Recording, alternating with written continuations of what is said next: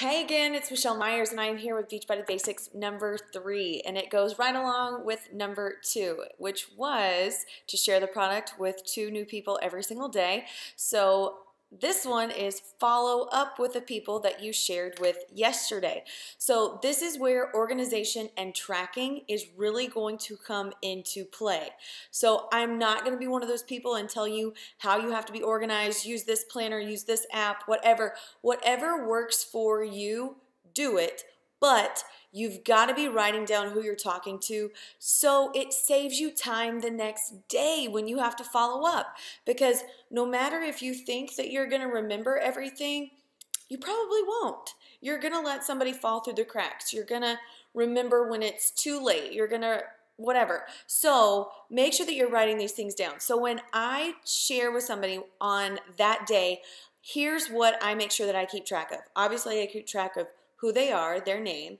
I keep track of how we talked. Was it Twitter? Was it Instagram? Was it Facebook? Was it email? Was it in person? You know, what contact information do I have for that person? So if it was Instagram, what's their username? If it was on the phone, what's their phone number? To where I am keeping track of those things to where when I go to follow up with them, it's really mm-hmm. simple. It's easy for me because I go, oh, it was Instagram. Here's your username.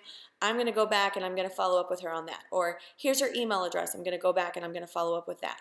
So you need to know who they were, how you talked, what you talked about, and then when you follow up, what should you follow up about? Did you send them a video about Shakeology? Did you get their why on why they're interested in getting more healthy and fit? How what's your next step? When you contact them, what are you going to do? Because it's going to take you about 20 extra seconds to do that after you've talked to them the first time, and it's probably going to save you 20 minutes of searching the next day to where you're going, okay, were they on my personal Facebook page or were they on my public page? Were they in my email inbox or were they in my Facebook inbox? Like, you're not going to have to worry about that because it's going to be written down there for you. So, know how you're supposed to follow up, know what you've told them that you're going to do. Hey, I'm going to call and I'm going to check in with you tomorrow and I'm going to see what you thought about that video that I sent you about Shakeology. So you you know when you talk to them, hey, did you get a chance to watch that video I sent you about Shakeology? Wasn't it awesome? What were some of your key takeaways from watching it? You're you already have your what you're supposed to say. So follow-ups really shouldn't take you that long because you've already written down for yourself what you're going to do when you talk to them about the next day. So here's a note about follow-ups. Because if you continue to chase people, if you continue to follow up with them, when really you're just kind of stalking them, a few things are going to happen.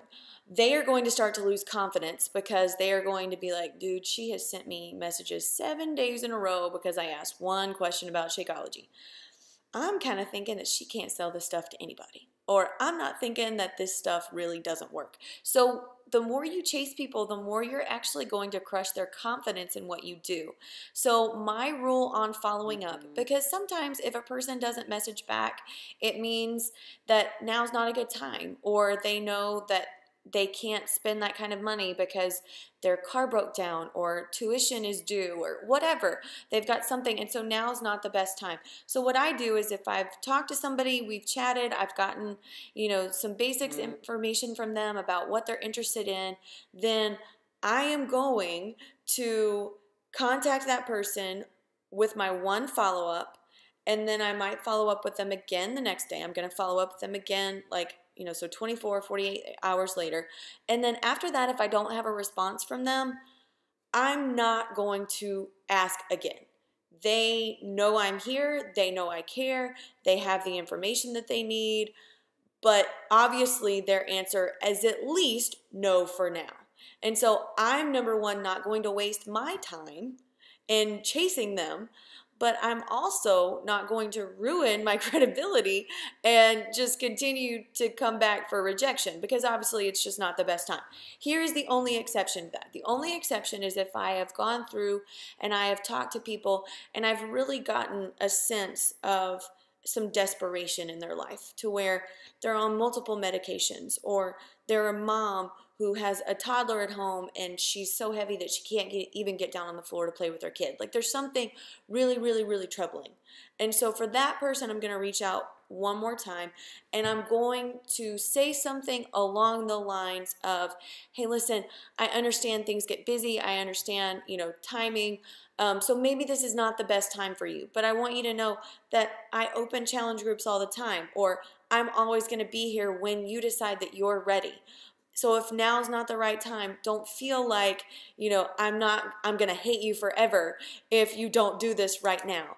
I want what's best for you. And so, of course, I want you to join. But if now isn't the best time for you, then I'm going to be here when you're ready.